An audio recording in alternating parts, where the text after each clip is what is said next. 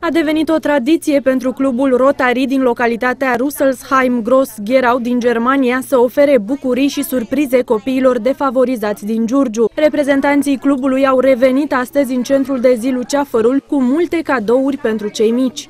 Se împlinesc peste 13 ani de când uh, vin în Giurgiu, administrând o donație a unui club Rotary din uh, Rüsselsheim, Gross-Gerau, Germania și a unuia din membrii acestui uh, club care au o fundație personală de ajutor umanitar.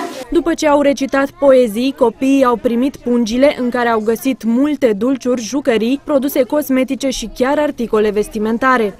Tot trimise din Germania, dar și dintr-o donație a unui uh, comitet din Belgia, au fost uh, haine, jucării, uh, tot felul de lucrușoare pentru ei care să le aducă o bucurie.